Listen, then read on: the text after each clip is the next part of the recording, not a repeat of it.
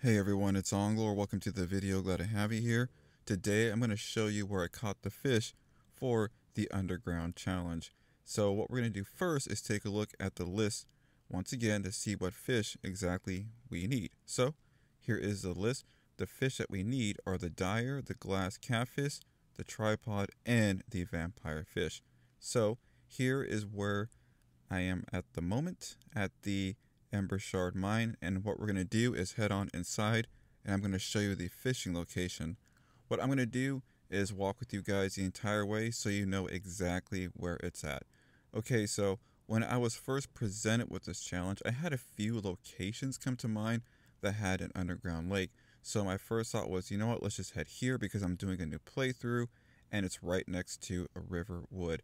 I was fortunate enough to catch three of the four fish here.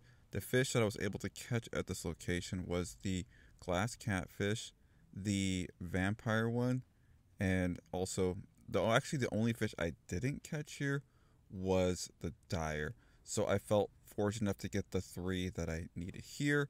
And as you can see, we head on down. Here are the fishing supplies right here. And then it's right in front of a waterfall. I actually think this location is pretty cool. I do not mind fishing here at all. So as I just did before, the only fish I did not catch here, and I did fish here for a while, was the dire. So here's the location that I'm at right now, the Broken Oar Grotto. That is north of Solitude. And what we're going to do is head on inside.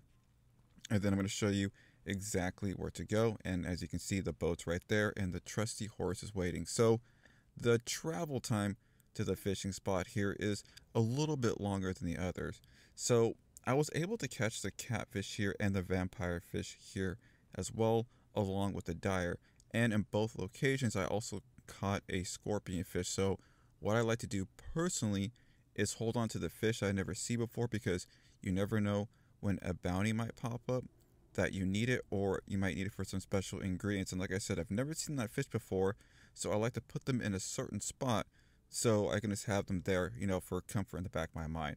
So here is the fishing supplies, and this is where I caught the dire fish. And as I said before, I also did catch the vampire and glass fish here. So I feel like the spots are interchangeable and you can go to either one to catch the fish that you need.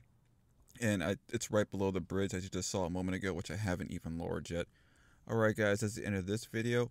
Now I'm going to have to go tackle the rare fish challenge, which is going to be, well, quite challenging. So I hope this video helped you guys out and I hope you enjoyed it.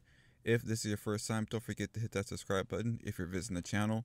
Also, if you liked the video, please smash that like button. It would mean a lot to me. Alright guys, I will see you in the next video. Happy fishing, good luck, and also take care.